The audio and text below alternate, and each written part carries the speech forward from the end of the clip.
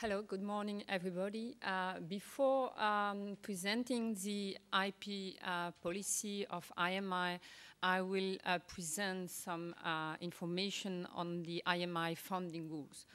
So, uh, concerning uh, the IMI funding rules, um, as mentioned by Michel Goldman before, any party uh, interested in IMI and carrying out activity in line with the IMI objective and established in a member state or in a country associated to the same framework program may participate to an IMI project. And at the first uh, stage, we need at least two entity established in a member state or in an associated country. But also, as mentioned before, not of all these legal entities are entitled to receive IMI funding. So who are these entities entitled to receive IMI funding? These entities are the academic participants, including uh, second and higher education establishment, also patient organization, non-for-profit research organization, uh, and intergovernmental organization. But in addition to this entity eligible to receive IMI funding, of course, other entities may participate, and especially at the second stage, it's a public-private partnership, so will not be eligible to receive IMI funding, the EFPIA company, the pharmaceutical company, but also the regulatory agency, and any other entity who would like to participate in an IMI project. It may be an IT company, an imaging company, or any other type of legal entities. So, when we are talking about finance, to which cost are we referring, we are, are we referring to? We are referring to direct cost and indirect cost. Among these direct costs and indirect costs, they may be spent across research activity, management activity, and training activity. These direct costs may be personal costs allocated to a project. This may be also the travel and subsistence cost of the personal allocated to the project. It may be equipment, consumables, but also subcontracting costs and the cost incurred to provide the different certificates, the cost certificate or certificate for a methodology. But it may also include the conference fees. Concerning the indirect costs, it refers to the support cost of an administrative, logistical, and technical nature of um, the uh, participant activities. And all these rules, this uh, category of costs, direct and indirect costs, apply to all companies we don't care if these companies are eligible or not to receive IMI funding. So this principle applies equally, equally to all participants.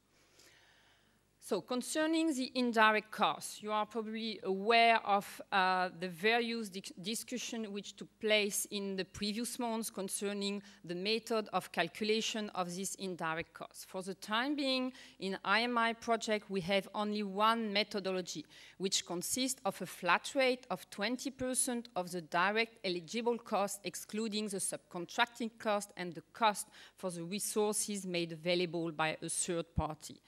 But following further discussion with our two funding members, but also with our stakeholder towards the SRG representative, it has been also discussed the possibility to modify this methodology or without uh, speaking a modification, but by en enlarging uh, the methodology for calculating the, this indirect cost. So now the Commission has clearly expressed its position to also use the actual indirect cost. This is clearly in line with its current position to allow participants to use their normal accounting system. And this uh, has been uh, clearly approved by the last Competitiveness Council, encouraging the Commission to allow the participant to use, but also to develop the proper accounting system and at the end to allow them to charge the actual indirect costs. So for the time being, this has not been already approved by our two funding members, so through our governing board, but this should, a decision should be taken by the end of the year. That is the reason why it is really important when you will prepare your expression of interest to already take into consideration this second approach. So concerning the type of eligible costs, in order to be charged to a project, a cost shall be actual. It has to be incurred by the beneficiary who is participating to the project. It has also to be recorded it's in, in its accounting system. It has also to be certificated by an external auditor, and it has also to be auditable. So all these conditions are necessary for a cost to be considered as eligible. And concerning, because we have criteria for eligible costs, of course, we have also criteria for non-eligible costs, because some of these costs, even if they have been incurred by the participant with the purpose to achieve the objective of a, an IMI project, some of these costs cannot be considered as eligible.